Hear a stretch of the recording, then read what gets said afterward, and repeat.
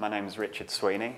Um, I'm an artist and I produce artwork in paper mostly. So through folding paper, manipulating, shaping, constructing. Um, I'm interested in the properties of the material, um, its intrinsic properties, and how you can form it um, in a sculptural way. Uh, so today at Victor Felix Gallery, we've given a workshop. Uh, myself and my colleague Andy Singleton, who also produces artwork in paper, we've shared our skills and knowledge in paper manipulation just to let people know how, how we work and also to, to let them explore the medium as well because it's such an accessible medium. It's so readily available and it's uh, very easily manipulated by hand. It's a tactile medium. You don't need um, a very complicated setup uh, to work with it. Uh, it's quite simple to start, uh, but you can spend a long time trying to master these techniques and to create um, sculptural forms. So um, it was really good today. Everyone had a great time creating some really nice work. Um, no, I think everyone went away pretty inspired and some very impressive shapes uh, coming out from the workshop today. Yeah. But a ballpoint pen, uh, an empty ballpoint especially, is really good for this. So, you have this template, all of these lines.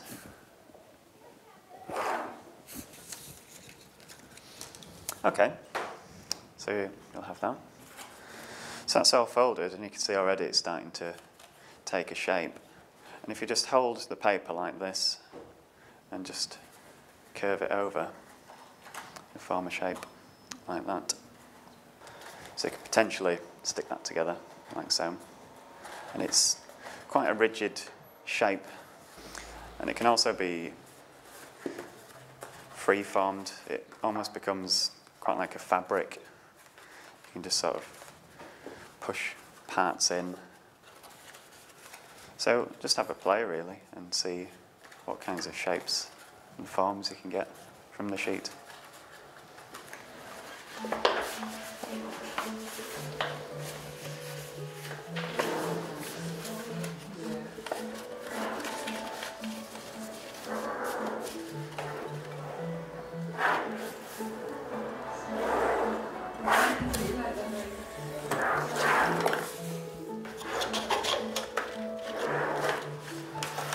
Develop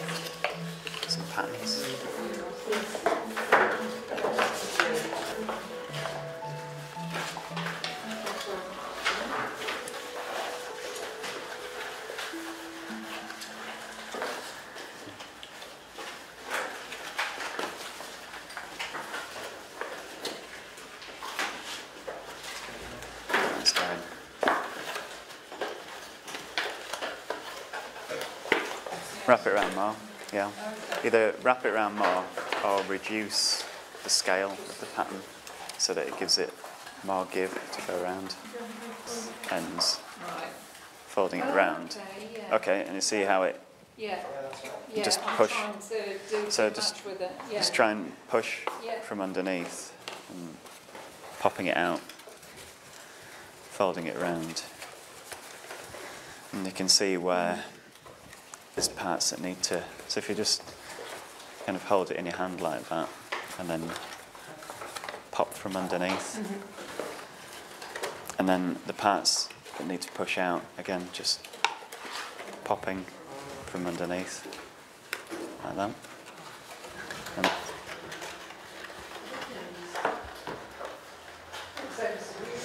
think so. yeah.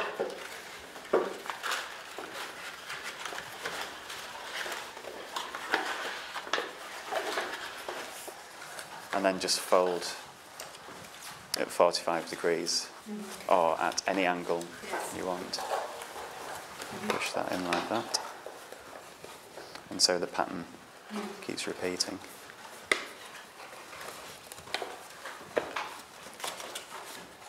Then it's the same principle.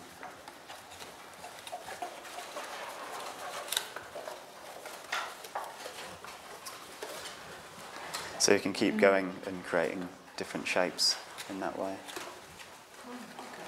And so where this forms a mountain here, this part will form a valley. So I'm pushing that part in there.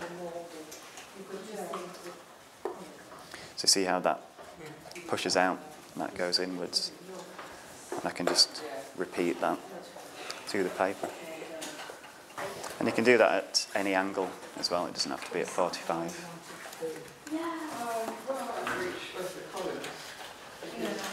That's just wide one side and narrow the other. Yeah? Yeah, we'll, uh, we'll be doing a technique to. Yeah, it's well worth having a look at that. It, it expands a lot on these pleating techniques.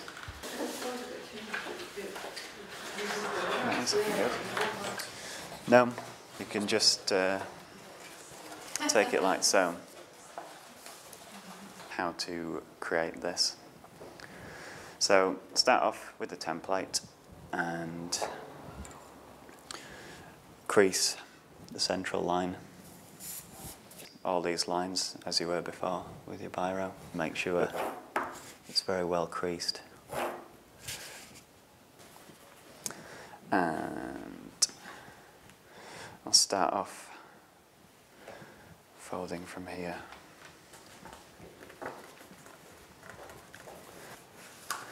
So you can see how it steps and overlaps, and that's what creates the curve.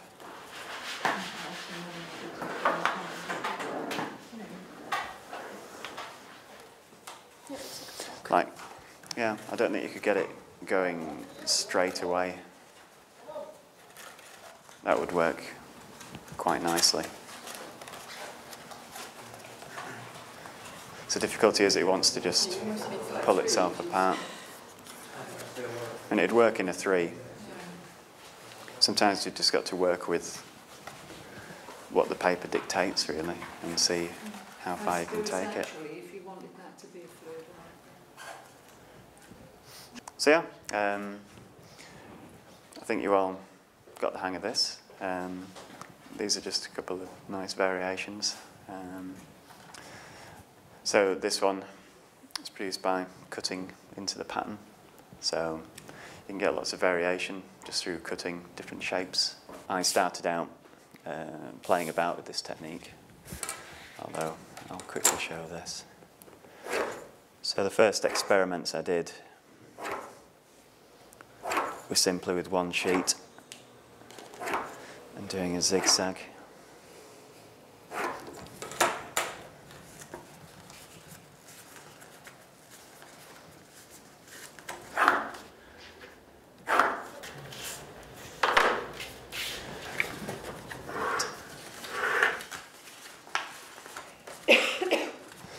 Just keep going. Um, you can just score straight away.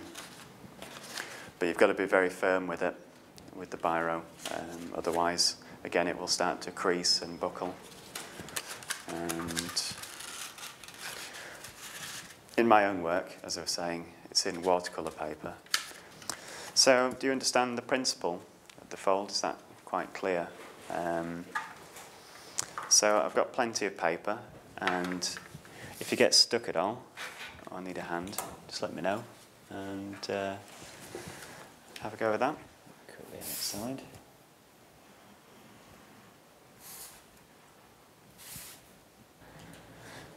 So notice how that edge there just fits in quite snugly, like that. So once you have a few of these, you can start joining them together and if you have enough, they will eventually make a sphere that's quite substantial in size. So this time, rather than crease, I'm going to cut the line. Then I'm draw another line like this. So I'm creating a kind of branch here. And notice how this is quite straight in line with this. It's quite important to keep it um, quite straight to the edge there. And just note how different types of curve give you a different kind of fold as well. When you bring it together, creates different shapes. You can combine this with the pleater technique.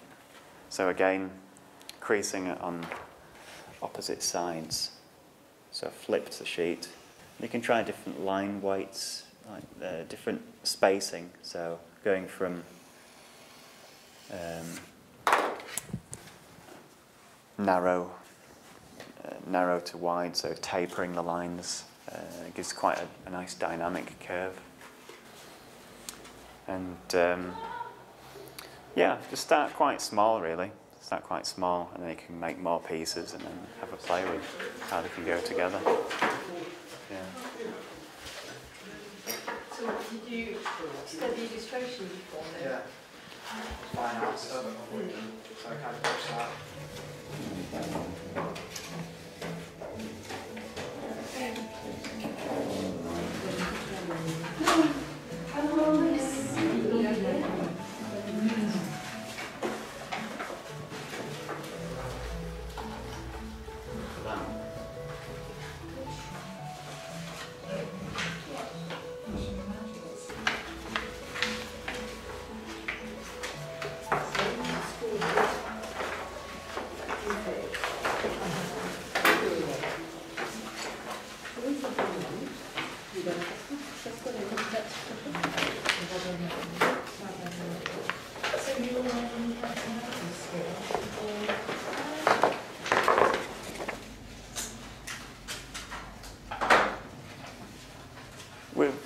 Started the workshops last year, um, last summer, and I, th- I think we'd like to take the workshops a bit further.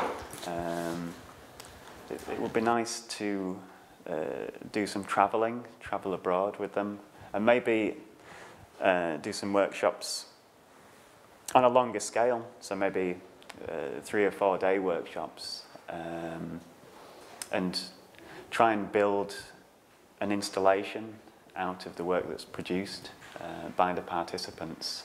So I think that's, that's a future ambition for the workshop, to really scale everything up and try and bring lots of people together to build something uh, a bit bigger. Yeah.